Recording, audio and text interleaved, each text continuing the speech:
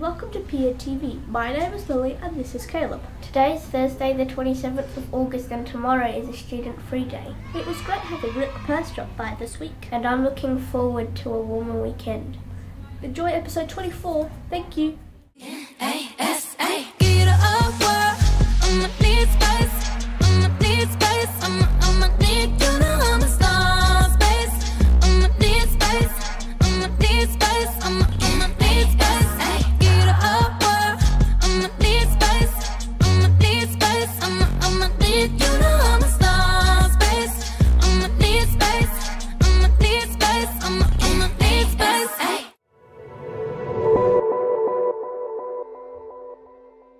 the last 150 years, I have been trampled on, spray painted, drilled, and chained so people could have easy access to disrespect and be surface my beauty. The people finally reconciled and found a common community voice and decided that this would stop happening to me. I called my picture finally free because people stopped walking on Uluru.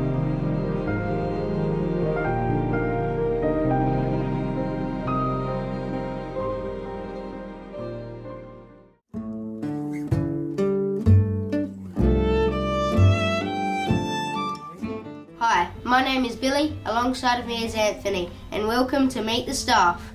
Today we I am here with a very special guest. Please welcome Ferry.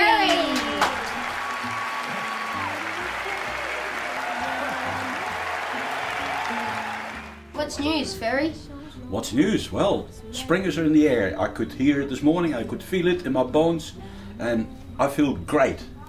Why did you decide to be a groundsman?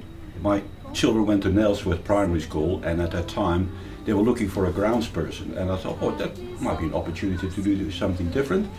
That's when I started my career in the uh, in the grounds person's world. How long have you had that moustache for, and would you shave it off for charity? Well, I can give you a quick answer on that one. I had that mustache oh, 50 years and I'm not going to shave it off. But I'm quite happy to donate some money to charity for the good cause, but I'll leave the mustache on there because I might scare the family. Where is the name Ferry from? I am from the Netherlands, and when I was born, quite a few years ago, my parents baptized me Ferdinand Nicholas Christopher. Wow, that's a whole long name. But my parents decided call me Ferry, which is a very common name in the Netherlands where I'm from. Do you own a pair of clogs, and would you wear them out to social gatherings? I own a pair of clogs. I've got them in my cupboard at home, but I'm not wearing them because they make they're too noisy on the wooden floors. Name your favourite art artist in the 70s. Well, actually there are quite a few, but uh, I have to stick with the Beatles and the Electric Light Orchestra. How was the 70s, Ferry? Wow, that's, that's quite it's uh, very uh, exciting. I saw your dance move in the Happy PNTV music video. Yeah. So, how did you learn to clear the dance floor? Well, my wife, she's a very good teacher. Her name is Anita, and she taught me all the tricks on the dance floor. And we still practice them occasionally at parties. Thank you so much for your time, Ferry. Welcome, and thank you very much. enjoy your day. Thank you very much, and thanks for having me.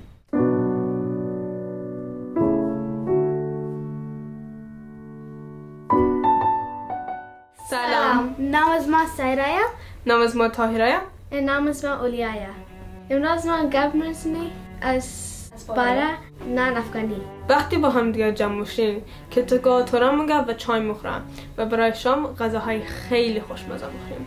می خوشمزه غذای است قابلی قدد و حلوا. قبولی یک غذا است که قد برین جور میشه زردق قد کشمیش قبلی روز وقتا کنجیگه کفته سرو میشه. جور کردن قدید خیلی طولانیه.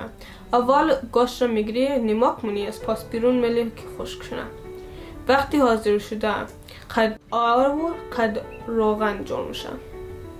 حلوا یک فول شیرین غذا است که کنجیگه کره آرد شکر جور میشه. خداحافظ.